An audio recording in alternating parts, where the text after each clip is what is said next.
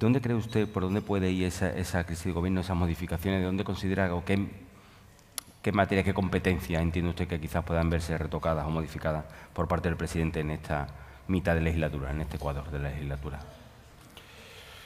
Pues mire, yo eh, traía el teléfono del presidente, le voy a pasar el teléfono del presidente, le doy el número de teléfono, usted le llama y, y le contestará, porque a ver, si usted se cree que yo le voy a poder contar lo que el presidente es quien tiene que anunciar, quien tiene la competencia de anunciarlo, como comprenderá, usted me tiene poco cariño.